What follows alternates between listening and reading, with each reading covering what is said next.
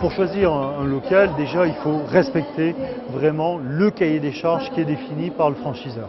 Le franchiseur doit être en mesure de vous dire on a besoin d'un local qui fait 100 mètres carrés, qui fait 200 mètres carrés, qui fait 400 mètres carrés.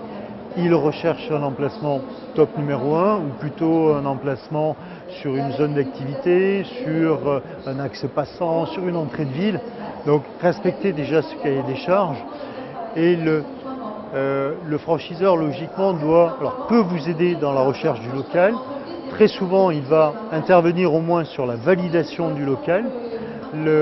donc, ne prenez pas un local sur lequel vous avez un doute, euh, parce que si ce local n'est pas, pertinent, ben, derrière c'est votre euh, rentabilité qui sera en jeu.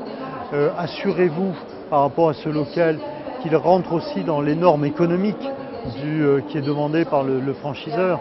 Euh, si euh, le franchiseur dit ne prenez pas un local qui représente plus de 10%, le loyer ne doit pas représenter plus de 10% de votre, de votre activité, ne prenez pas de risque. Donc choisissez un local sur lequel la valorisation financière entre le droit d'entrée, s'il y en a un, plus le local, reste acceptable pour rentabiliser votre, votre concept. Après, est-ce qu'il vaut mieux être locataire ou propriétaire? Ben Là, tout va dépendre de l'aisance financière que vous avez.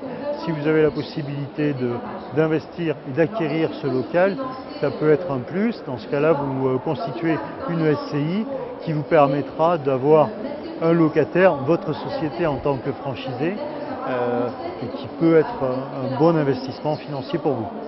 Le local pour telle franchise va être considéré comme un bon local et à contrario, une autre franchise va dire ce local ne correspond pas.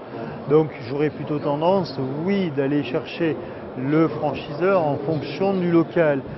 Mais je pense que là, on prend un peu le problème à l'envers. Euh, certes, le local est important, mais il faut d'abord être validé par le franchiseur et avoir envie de travailler pour ce franchiseur. Moi, ça me semble être la première des priorités. Après, un local, euh, au pire, un droit au bail peut se revendre. Donc, trouvons d'abord le bon franchiseur, soyons en adéquation avec le franchiseur. Si ce local correspond, très bien. S'il ne correspond pas et que l'emplacement euh, peut se relouer, euh, n'hésitez pas à revendre ce droit au bail et chercher un emplacement qui correspond pleinement au cahier des charges qu'attend le franchiseur.